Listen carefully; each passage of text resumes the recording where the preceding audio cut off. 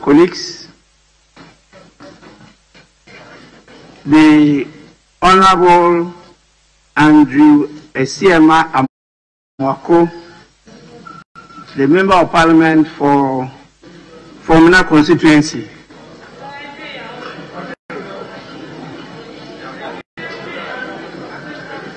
The member, the member that is holding the balance in this house. I have the letter in my hands and I'll proceed to read the contents to all of you. The letter emanates from his office and is dated 13th January 2021. The Right Honorable Speaker, Office of Parliament, Osu, Accra. Dear Sir, declaration to do business with the NPP caucus.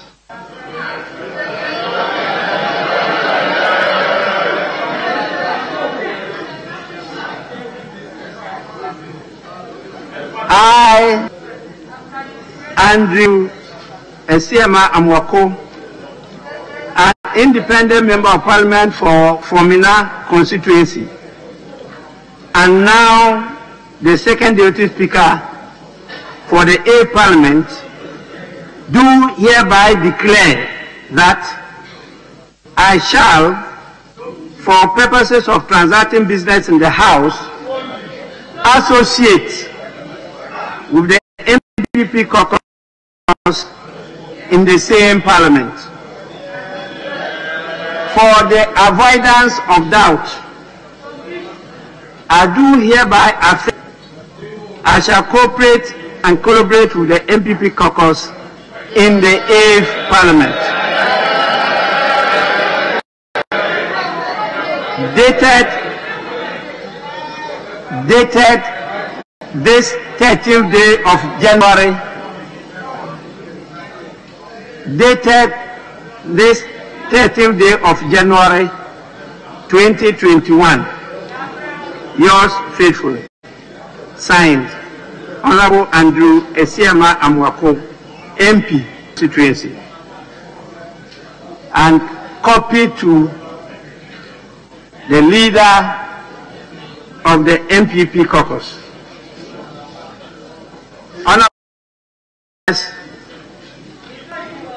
With this official declaration to the House, the House will accord him the space to do as he has stated. Whatever he said outside was of no effect so far as the business of the House is concerned. And therefore, he had to do it officially for it to be read and captured in the Hansard. And so what we have now, you have the new Patriotic Party wing or caucus in Parliament together with the independent member of Parliament from Fomena. And they now constitute the majority majority group.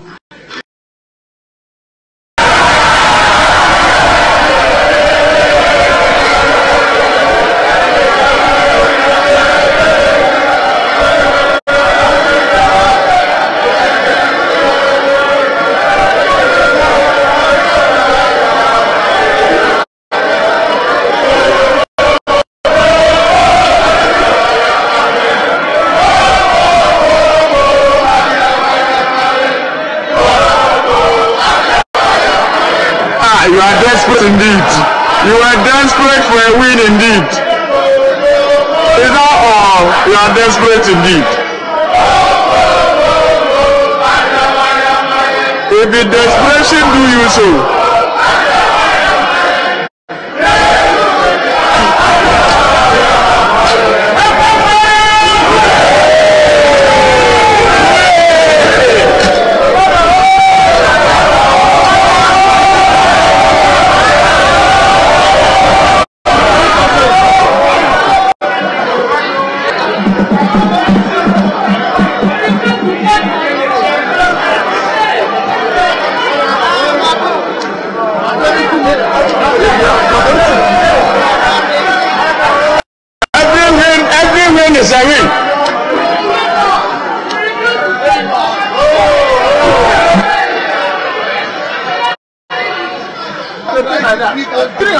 You are just majority group, majority group, not caucus group.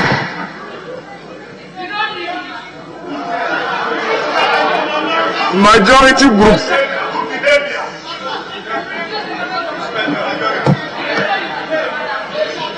Premature, premature ejaculation.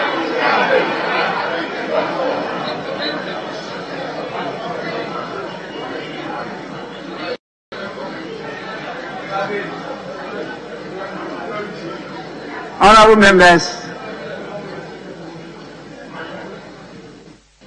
shouts of this nature will not be tolerated. When you in this house, you are speaking to the speaker. You are addressing the speaker. When you want to speak to your colleague, soon the house will soon be broadcast live. Families, your kings,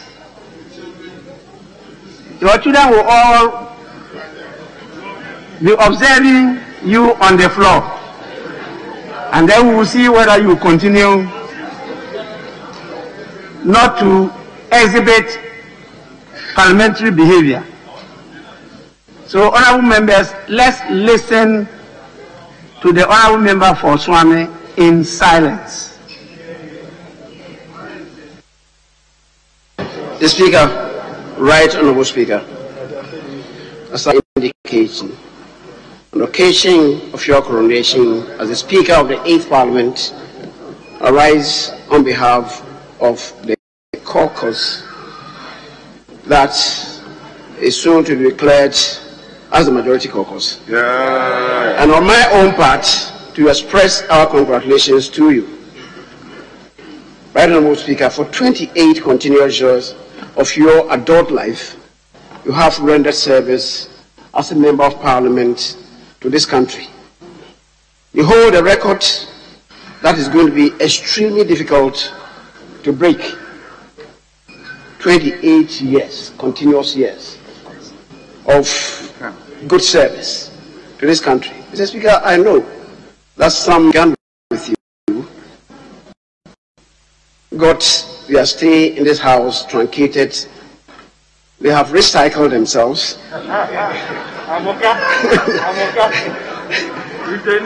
Mr. Speaker, I don't know. I don't know whether you have the good fortune to match your record, much more to break that record. Mr. Speaker, you are not one of the members of parliament through parliament for all these years. You have positively impacted the development of parliamentary democracy since entering parliament. Of the Constitutional, Legal and Parliamentary Affairs Committee through your position as the minority majority leader for a total of four years, Minister of State for two ministries, and second Deputy Speaker in the seventh Parliament. And now, by the mighty hand of divine providence, to experience a second transmogrification in your life. Speaker, I, I am still a human being.